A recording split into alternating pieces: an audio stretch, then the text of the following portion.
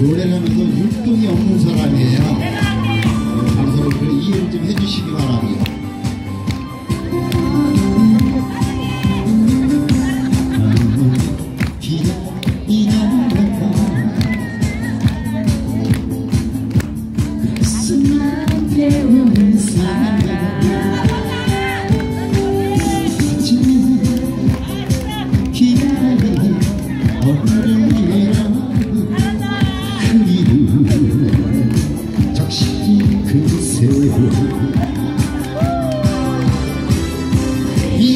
yes, high.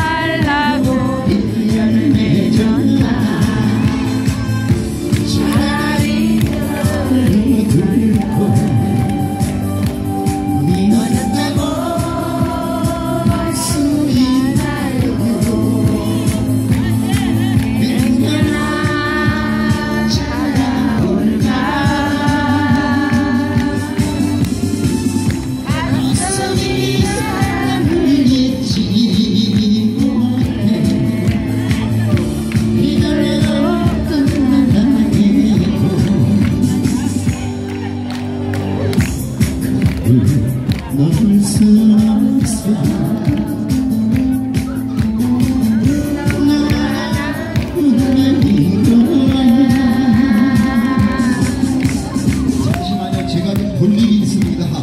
아 시간을 잠시 제가 한번 어.